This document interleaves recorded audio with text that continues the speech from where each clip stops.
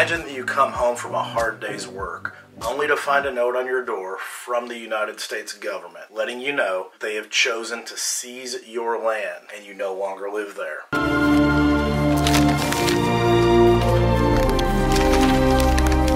Your money will be available within 10 days at the local courthouse. To top that off, the amount of money that they're offering you far less than you expected. This is a process in real estate known as eminent domain, and it is a process in which the government can forcibly take your land. Prior to the year of 1942, the city of Oak Ridge actually didn't exist. It was more made up of communities.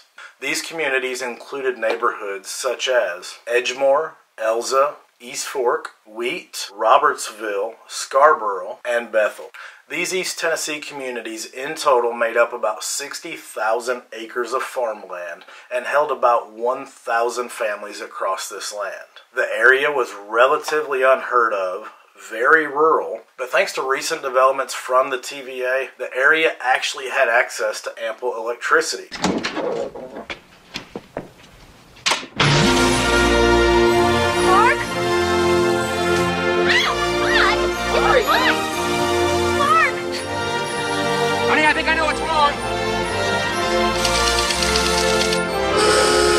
This would prove beneficial later in the story. It's early September of 1939. The Great Depression is not long behind us.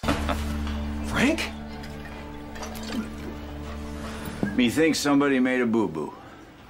Maybe we didn't know how to use Quicken. Yeah, that could be it. And Hitler has just invaded Poland. World War II has officially been ushered in. Just two years later, the Japanese would attack Pearl Harbor, ushering the United States directly into the battlefield. While some sources vary, it's estimated that around 75 million people died as a result of World War II. The world was in turmoil, and Adolf Hitler was steadily gaining ground. And between the revelation of Adolf Hitler's evil plans in addition to the fear that he could possess nuclear weapons, or would certainly have used them had he been able to attain them, the United States knew that they immediately had to take action to end this war. In fact, it was actually said that Albert Einstein drafted a letter to the United States warning of Adolf Hitler's nuclear capabilities.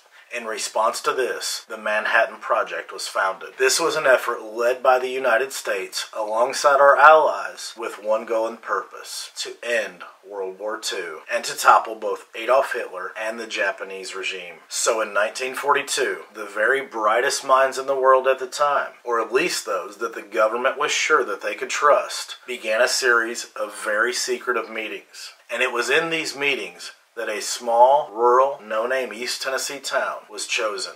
This is the story of Oak Ridge, Tennessee. If you remember earlier in the video, I had painted the picture of what would happen if you came home from a hard day's work only to find a note on your door that the United States government had chosen to forcibly take your land.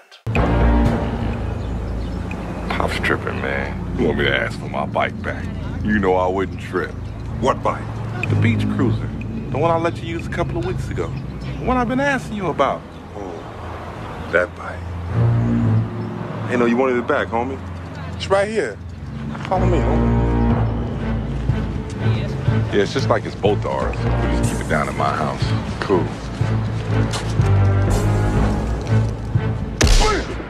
That is exactly what happened. As with that Manhattan Project, Oak Ridge, Tennessee would become the new name of the place chosen by the United States government to build the atomic bomb. This was chosen for several reasons. Number one would be secrecy. Oak Ridge would go on to have many nicknames, and one of those nicknames would include the Secret City. This is because the town of Oak Ridge at that time, which was originally a few different communities added together, totaling about 60,000 acres of land or so, this area was relatively unheard of, and that was a good thing. It's exactly what the United States government needed. To add to that, due to the TVA and the advancements in bringing hydroelectric power to the area, this area was perfect as it also had the ability for massive amounts of electricity, which would be needed to pull this off. And then lastly were the mountain ridges. Oak Ridge and the general area in East Tennessee is often surrounded by mountain ridges. This would create kind of a bowl shaped effect, which would help contain the blast in the event of an accident. Thankfully, that accident never happened. And on October 6, an executive order was signed for the government to go in and possess roughly 59,000 acres of land and create the town of Oak Ridge. It's even reported that some of these families only received about $900 for their entire tract of land, which even at that time was relatively low. However, you also have to put yourself in the shoes of people during that time. Most of these folks that live there, while they love their property and they love their Tennessee land, they had somebody out fighting that war. They had somebody in their family who likely had died in that war already. So at this point, these folks were ready to see America win and they were ready to see their country get back on track and not be taken away from them by foreign nations. As the communities quickly evacuated over the next couple of months, in record time, the city of Oak Ridge would go on to be built. It's estimated that this process only took about 10 months for them to create an entire city as well as the facilities to build the atomic bomb. So throughout 1942 and 1943, the government began to construct what would become Oak Ridge, Tennessee. At the very height of nuclear development, Oak Ridge actually used more electricity than some of New York City's boroughs. The very peak of the population in Oak Ridge during this time was estimated to be around 75,000 residents. However, most residents did not even know while they were there. During their work, they were given colored bands, and each of these bands represented where they should be and what they should be working on within the compartment within that town. So if somebody were over here, say they were working at the store to help folks as they live in this town that was just created, well, they had a colored band uh, appropriating themselves to that area. So person B over here would not really know what person A knew over here.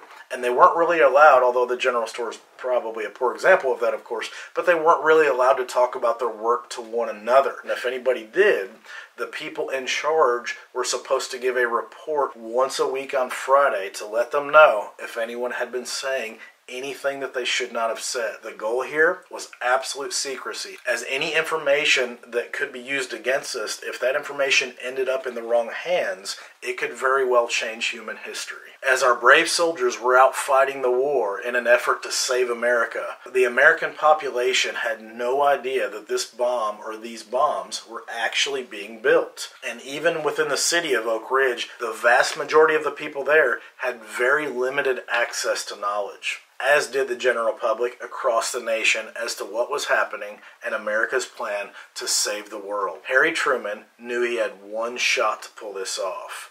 One mistake, even a contained blast, would warn the enemies of what we were trying to accomplish, and it could cause them to retaliate with the same game plan.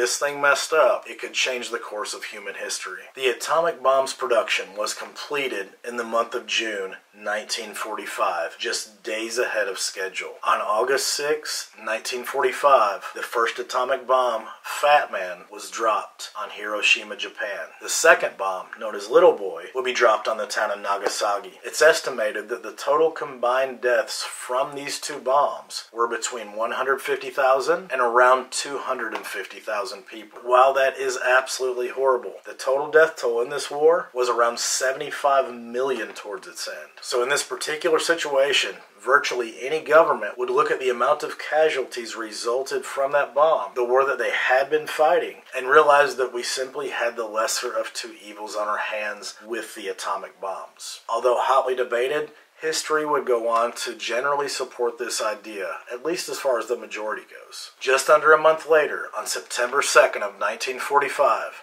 the Japanese surrendered, bringing an end to World War II. The world was finally healing, getting back to normal, and Adolf Hitler was dead and gone. Thank God. Almost immediately after the war, the population of Oak Ridge shrunk from 75,000 folks down to 31,000 people. This put the newly constructed town of Oak Ridge through quite a bit of growing pains. Over the next couple of years, several key scientists and figures would rally for the city to become a scientific hotspot where the brightest minds in the world could meet, think, develop, and work. However, this took quite a bit of convincing to do, as people generally thought of rural Tennessee as not really a place for scientific development. However, the folks that doubted what a small East Tennessee town could do in the area of science would be proven wrong over time. And since that post Manhattan Project era of Oak Ridge, the town of Oak Ridge has gone on to be a key role in several scientific developments worldwide. Some of these developments include the invention of the touchscreen, for one. Oak Ridge has actually built two of the fastest supercomputers in the world. Both, at the time, were the fastest computers on Earth. Oak Ridge has held this title two times, and Oak Ridge is always in the forefront of this race for this title of the world's fastest supercomputer. Today, actually, from the recording of this video, Oak Ridge is still number two in the world for the fastest computer on Earth. Oak Ridge actually created the first 3D printed car has created a 3D printed house, and it was where shortly after the war, two elements were actually discovered. And to this day, the scientific research, the development that goes on within the town of Oak Ridge is absolutely phenomenal. As a real estate agent, getting to work with so many scientists from so many different walks of life that move into the area, quite a blessing to get to meet these minds. They are a different breed of people. One young man I work with was so smart, he actually was sent to other countries to help with the programming of their power grids. I don't even understand what I just said, but that was his job. The population never quite recovered from World War II, and to this day, we sit at about 31,000 folks in the town of Oak Ridge. Keep in mind, we've had a huge influx of folks in East Tennessee over the past four years, so this number is likely greater today. Oak Ridge also enjoys close proximity to Knoxville and is considered one of the 17 suburbs that make up the Knox metro area. This area in general has around a million people, maybe slightly under according to some reports. However, again, those censuses were taken uh, before the massive influx of people. So last count about 900,000 total, and that includes Knoxville, Maryville, Oak Ridge, all of the surrounding places. So there's a ton of stuff to do. Oak Ridge is also a very active community.